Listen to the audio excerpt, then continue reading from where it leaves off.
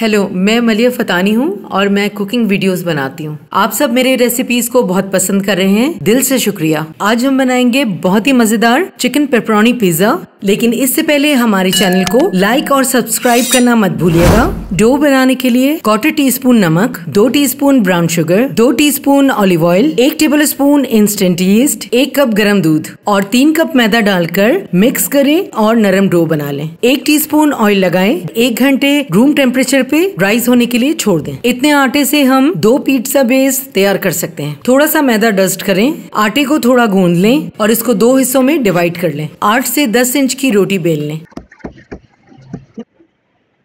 Pan में हल्का सा ऑलिव ऑयल लगाएँ।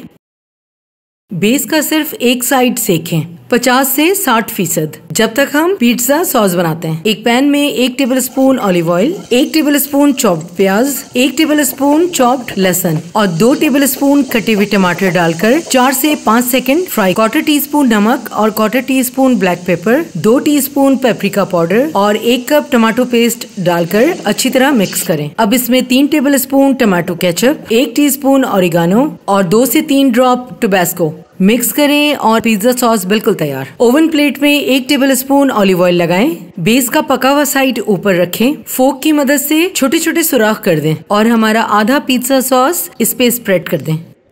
First layer of cheddar cheese अपने पसंद के वेजिटेबल्स जैसे प्याज, शिमला मिर्च और टमाटर वगैरह। मीट और प्रोटीन के लिए मैंने pre cooked chicken pepperoni use किया है।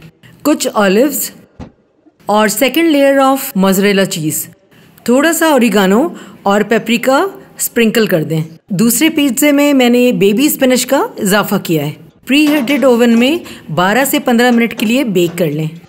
मेरा इलेक्ट्रिक ओवन है, आप अपने ओवन के हिसाब से टेम्परेचर सेट कर लें। साइड क्रस्ट सुर्ख हो जाए और चीज़ मेल्ट हो जाए तो समझ लें आपका पिज़्ज़ा बेक हो चुका है। और हमारा बहुत ही मज़ेदार गर्मा गर्म पैन पिज़्ज़ा बिल्कुल तैयार। वीडियो पसंद आया हो तो लाइक और सब्सक्राइब ज़रूर कीजिए, अपना बहुत ख्याल रखें और अपने इस चैनल का भी।